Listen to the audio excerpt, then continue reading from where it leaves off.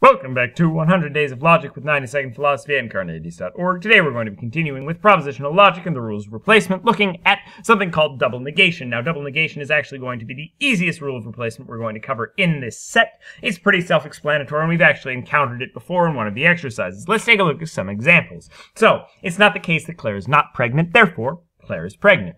John is paralyzed, therefore it's not the case that John is not paralyzed. It is not the case that Sun does not speak English, therefore Sun speaks English. Hurley won the lottery, therefore it's not the case that Hurley did not win the lottery. Basically, whenever you have two negations, you can cancel them out, and you end up with the affirmation of the original statement. Let's take a look at the truth table. So, we have not not P and P. We fill in the truth tables under P and P. We flip them for the negation, then flip them again for the second negation, and we end up back where we started, with our truth table being exactly the same for not not P and for P, so they are replaceable salva veritate.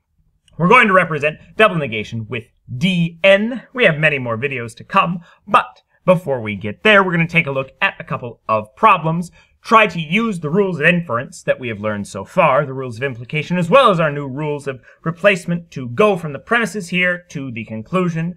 In the next video, we're going to be covering the answers to these problems. Watch a new video every single day for 100 days here at carneades.org. And stay skeptical, everybody.